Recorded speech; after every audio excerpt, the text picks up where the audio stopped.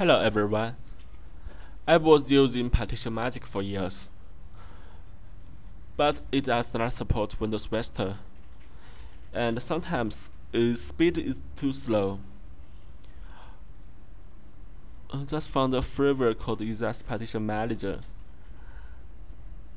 It supports Windows Vista and the speed is faster than Partition Magic.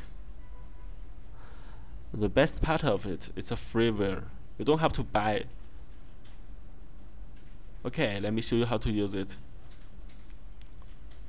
First, launch the software. It tells me that I have two disks on my computer, disk 1 and disk 2.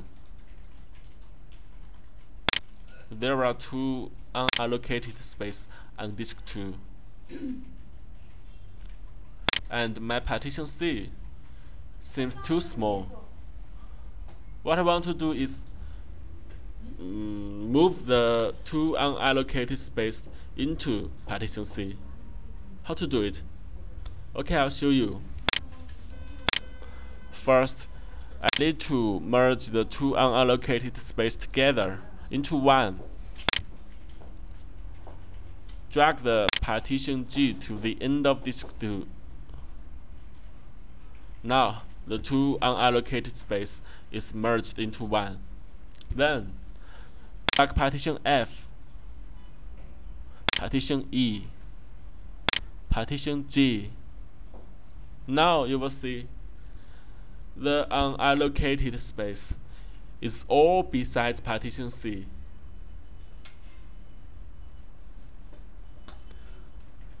Now the last step drag the right boundary of partition C to the end. Now uh, it's done. I have uh, extended partition C. Don't forget to apply all the changes. The software will reboot the system. You will have your partition C extended after reboot. Thank you.